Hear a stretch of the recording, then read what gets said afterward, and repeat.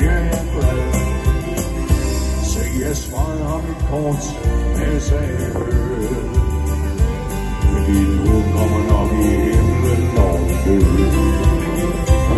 Og det var sent, og jeg skulle køre hjem. Og da jeg sad I bilen, tænkte jeg på manden igen. Ej, den spændende mand, velsign mig med det samme. Og mener med det og slukker livets flamme. Og skal forlade denne jord, jeg så høre. Og man tager ungen, med træen i himlen. den er